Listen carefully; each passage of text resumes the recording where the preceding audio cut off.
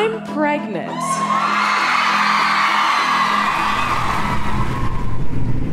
There's a tiny little penis in there. Okay, okay. This is a bad start. Page 187. How to do children. That has not aged well. Hello everyone, I'm Alex and welcome back to another video. In today's video, we're going to be going through Colleen Ballinger's or Miranda Sings old content, specifically her Netflix live show and her book. That cost me £10 off Amazon. I spent £10 on that. I'd like to say I'm ashamed, but this is why you need to subscribe to this channel because I need to recoup as much money as possible to save myself from the embarrassment. Let's see what Netflix commissioned her. Let's see what it's got to entail. I'm really looking forward to it.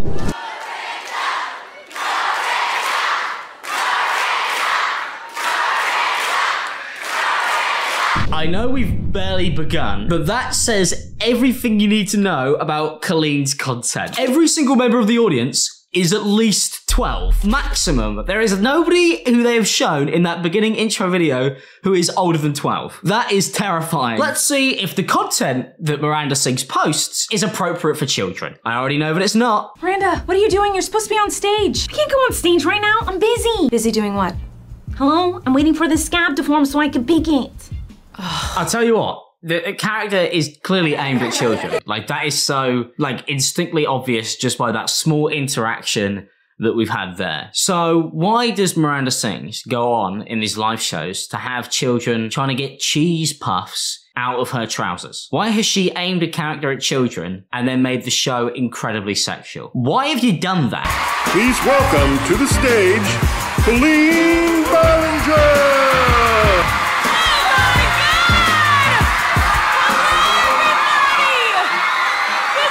Can't get over the fact that every time it cuts back from Colleen to the audience, that it's just children. Every single person watching this is a kid. I quite like the uh, Miranda Sings Colleen Ballinger kind of like uh, duo that she's got going on, like the duo of herself. You know, I would have said it was a character, but after watching her ukulele apology, I would say it's actually some form of like Batman Arkham Asylum villain. She's like Two-Face, apart from both of the characters are inherently evil. And you guys are never gonna believe me when I tell you this, but I'm pregnant.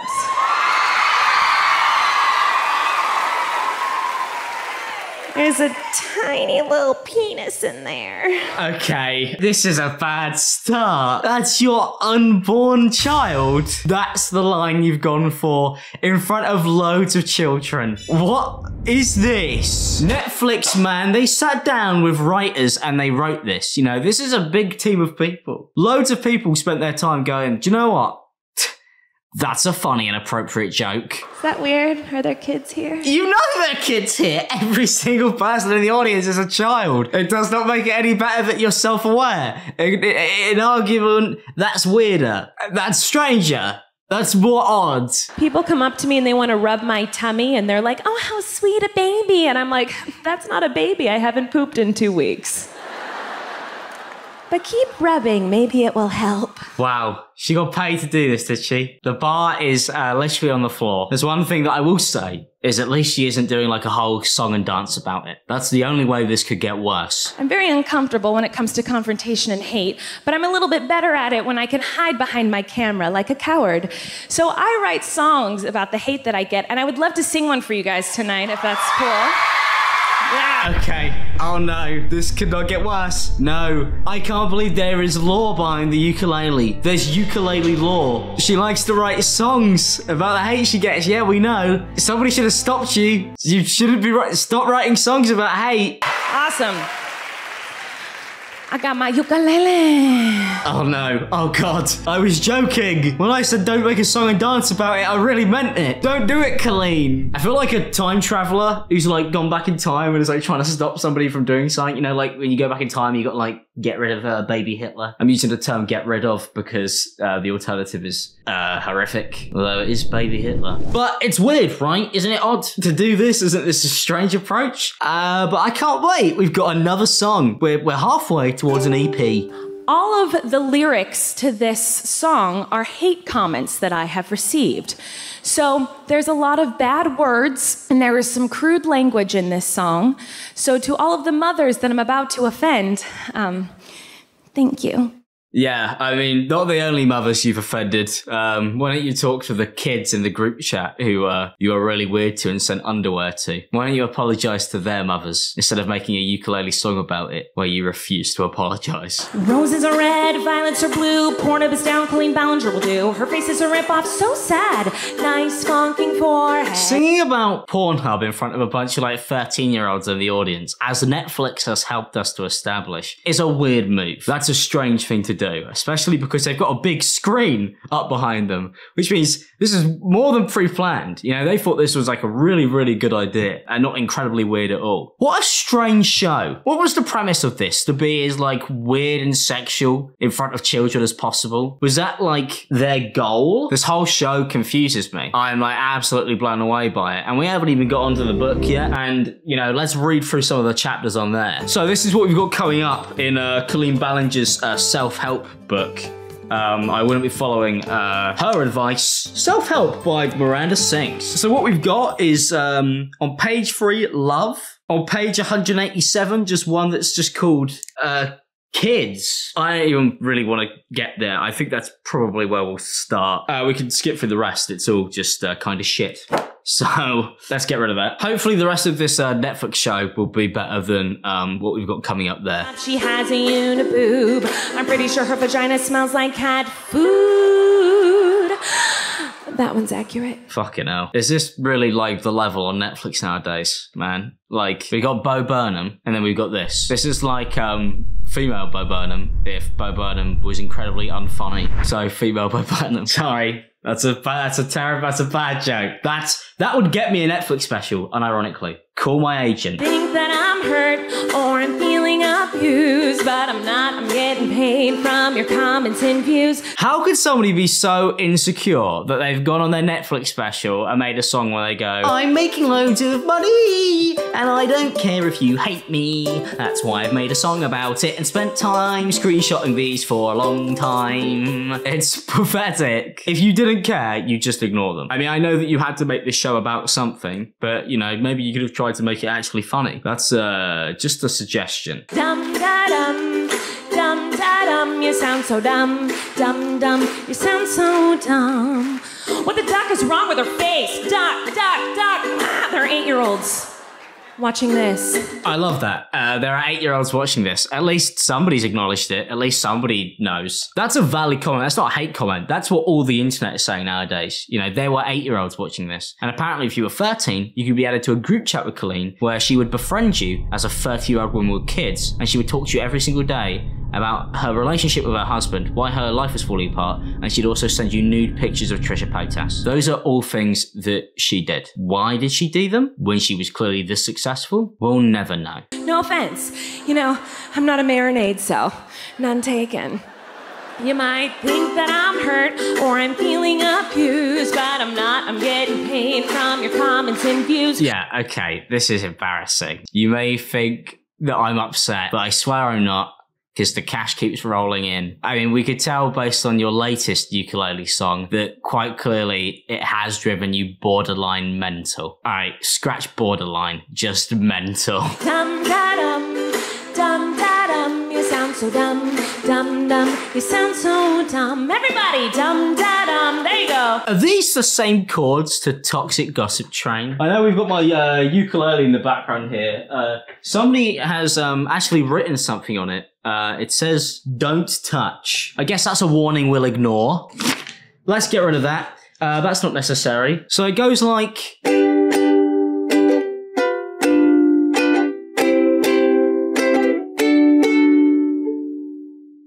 It's uh, actually quite catchy. So that's something I can credit her for. Uh, but you know what? The hate doesn't really bother me that much. I'm usually able to let the hate just roll off my shoulders. But every once in a while, there's just one comment that gets to me. And the comments go like this Please don't groom children, it's not a good thing to do. I think they're something along those lines uh, uh, recently. That's kind of what they're saying. All right, let's uh, put that back. I don't want to ever touch that uh, really ever again for the foreseeable future, um, unless uh, I get in trouble. Then I- am getting like an entire uh, quartet band playing, and we're going to make the greatest apology rock song you've ever seen. See, thought if I Googled myself, I would feel better, but that's not what happened. What happened was I noticed these words in bold. These are the most frequently searched things on Google. Okay, so those are the most frequently searched things on Google as of this Netflix special. Um, and, uh, well, let's just say that they probably, if we check, have changed. All right, if we go to google.com and we uh, open and we type in Colleen Ballinger, uh, it now says uh, grooming, Reddit husband drama, tour brother, Twitter, Trisha Paytas, movies and TV shows, uh, in case you want to stick something on that's fun for all the family. Well, not all the family. Maybe keep the kids outside. It might scare them. Wow, how uh, times change. Is Colleen Ballinger.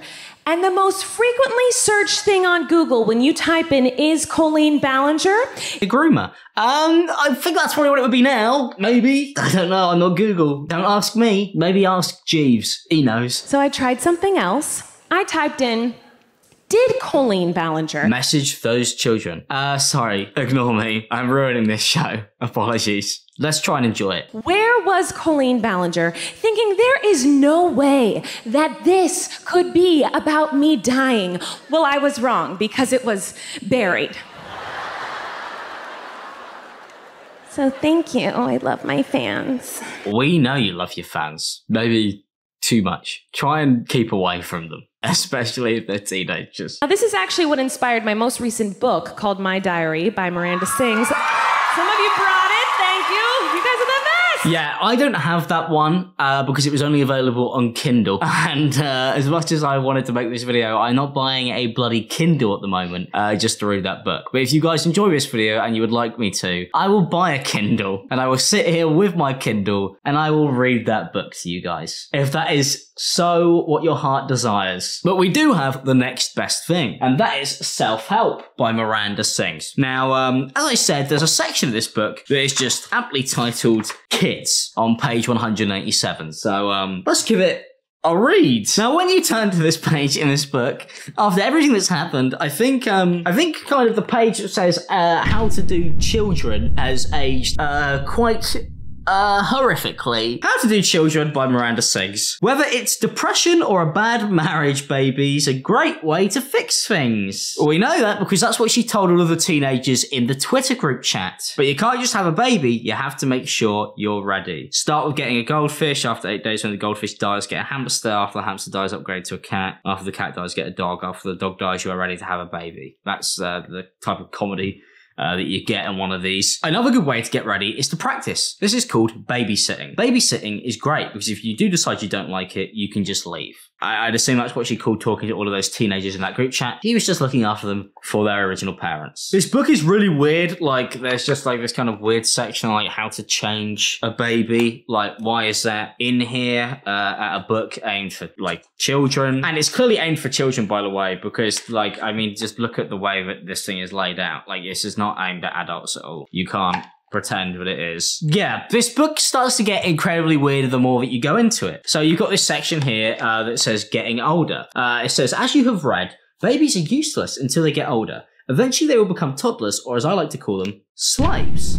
Interesting choice of words there, Miranda sings. This is the time when you can have them do things for you. Now, what do you reckon the first thing that Miranda sings or Colleen Ballinger would get her new toddler to do for her? But I could tell you whatever you think it is, it is not what you have guessed. Because what it actually is, with a picture attached, is foot massage. Yep, you think I'm joking? I'm not joking. That's is a picture of her toddler giving her a foot massage in this book. I feel like I've got a hold of like the flight logs.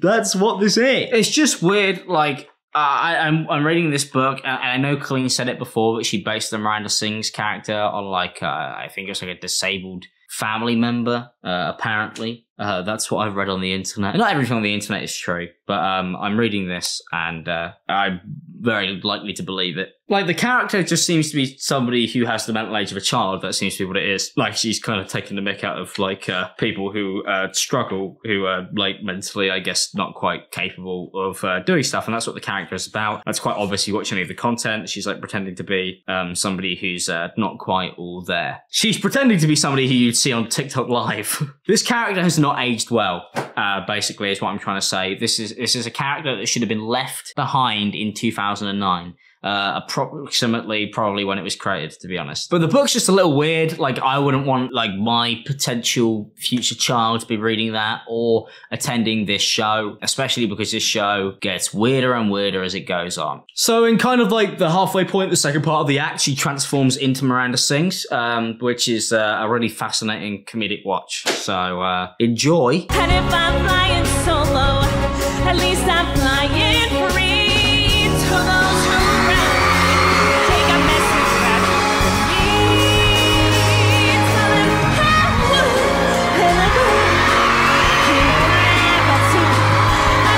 She's singing Defying Gravity. No, this is no, no. How could two worlds collide? How could Elphaba and Miranda Sings be the same person? There is no way this is that. that I only just caught on that that's the song. No, this is scary. I don't like this. I don't like this at all.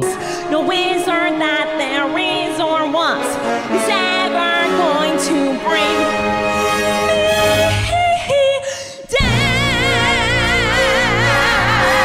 blows my mind that Miranda Sings wasn't based on Elphaba. It's almost like Elphaba was based on Miranda Sings, but Elphaba is a real human being. They are the same person. Now, this is the part of the show that makes me massively uncomfortable, and I can't believe they did this in front of people, let alone it was filmed and a team of people worked on this and then it made it to Netflix, because this is just actually kind of terrifying. Now, what you might not know is that porn is happening all around you.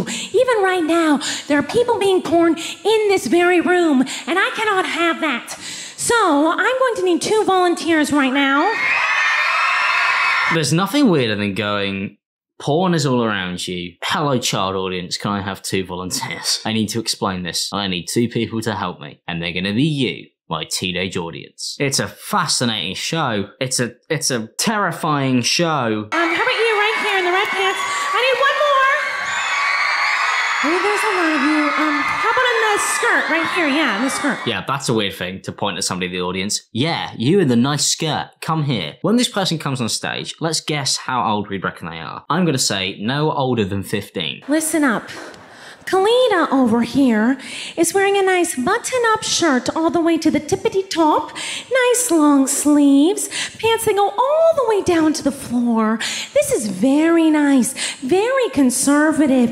This is a perfect example of not porn.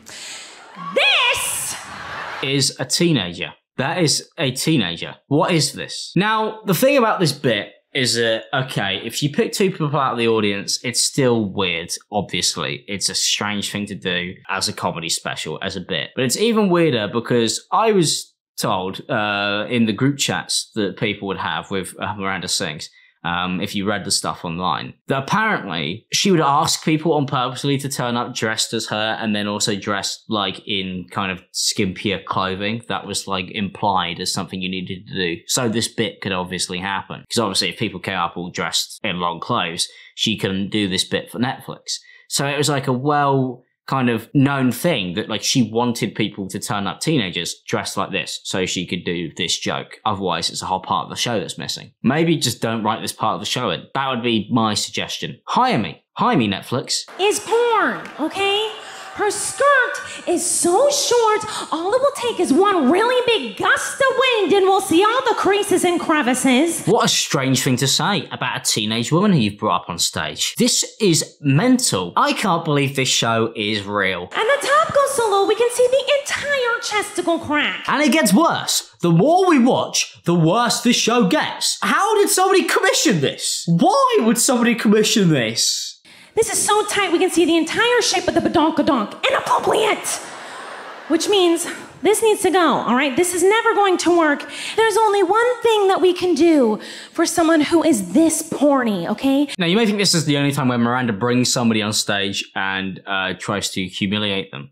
Uh, but you would be wrong. She also brings a small boy on stage, and let's see how she handles that. Um, what's your name? Aldair. Are you related to Andrew over there? Um, Aldair? Yeah. Sure, that works. Aldair. I love it. It's like, Aldair! I could do it all day. The show fucking sucks. This is shit. I know that's not exactly anything fun uh, to add to the video, but um, it's worth keeping in. What do you do for a living? Uh, watch you on YouTube.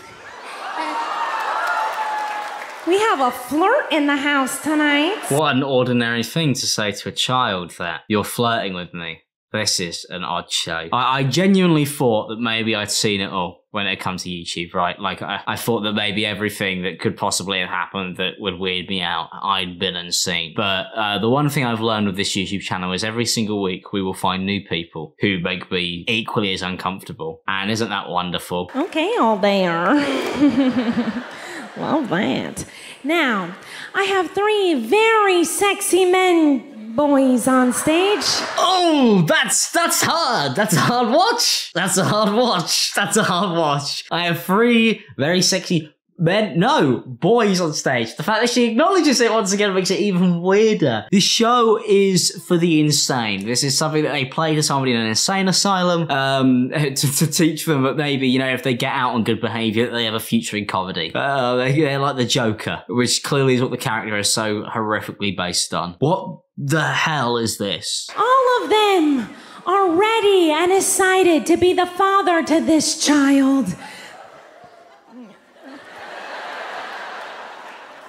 Um, so you can all handle this responsibility, you think? So she's got them up there as like, who wants to be the father of my kid? She's got like two 35 year old men who honestly, I, I hope they like really reevaluate their lives to the fact they bought tickets to go to this. One of them is wearing her merch. You know, how, how could it get any worse? But she's auctioning off her child to another child to be the father of the child on stage. All in the name of comedy, man. And people are laughing at it. There, there really is um, no lack of people for any form of content, is there? Uh, everything finds its home eventually. Summer dreams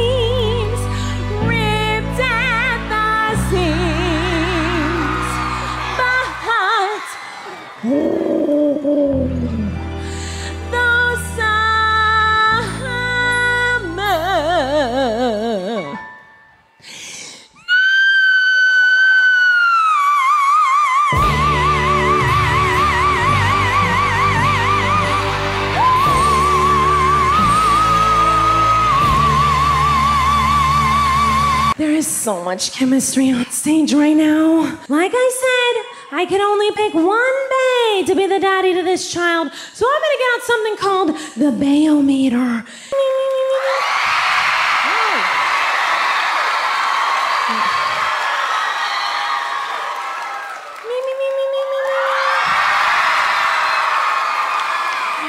So awkward. I won. Yeah, well, thank God you didn't let it be the kid, uh, but you got them up on stage anyway and had them compete, so uh, the damage is already done. There's a part of this that I'm going to blur out where, like, she shows herself up on stage as, like, a child, and in one of them, she's naked, and this is what she has to say about it. I have been acting like and dressing like biblical characters my entire life. I have pictures from when I was a wee little tot dressing like every famous biblical character there ever was. Look at this.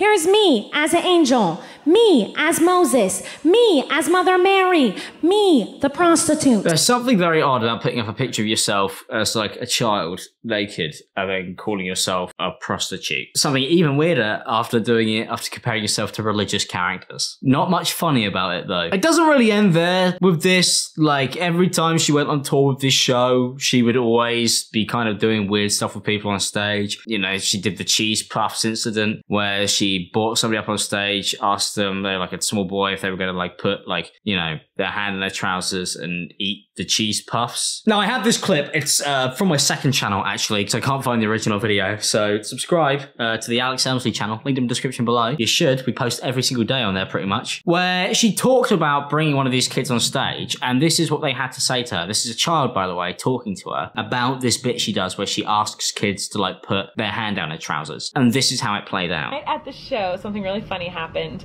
There um, is a part in the show where I bring up different boys that like Miranda flirts with, basically on stage, and there's this part where like I try to get a guy to put like his hand down my pants. I know it sounds really bad, but it's totally harmless. I don't believe it is totally harmless, Colleen Ballinger. I think asking a child to put um, your hand down their trousers in front of thousands of people is humiliating and also a really weird and unnecessarily sexual thing. Like, why are you taking part in anything borderline sexual with a child in any way, joke or not? It's odd. There's no excuse for it. Leave them alone. You know, why are you doing that? It'd be even weirder if you got like an adult on stage to do it in front of children. It would still be weird. It's a weird bit and it's not totally harmless, clearly. You idiot.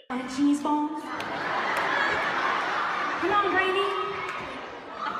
Oh, he went for it. Yeah, um, as you can see from Alex there, that's the appropriate reaction to watching that bit. It's absolutely mental, isn't it, mate? The whole show, the whole act has somehow gone under the radar for so long, and it's so incredibly dark and terrifying that I don't even know how this was humanly possible. I don't know how this got through as many of the people as it had to get through to get approved. I do not understand it. Well, that's it from this video. If you want me to go read another one of Miranda Sings books, I will uh, buy my Kindle. Uh, leave a like. If we hit like 15,000 likes, then I'll do it. And uh, I will see you guys soon. But, uh, you know, I, I feel very moved by this and, and it's quite upset me. So um, I think I'm going to need some time to go and like process my feelings. And uh, yeah, I'll, I'll see you guys um, in a bit. Oh, well, fuck me. That was absolutely mental. Uh, what is wrong with YouTubers? They're insane. They're all just crazy. Um, uh, oh, oh, old tweets. Um, yeah, not even I'm that fucking mental. I'm gonna go have a beer.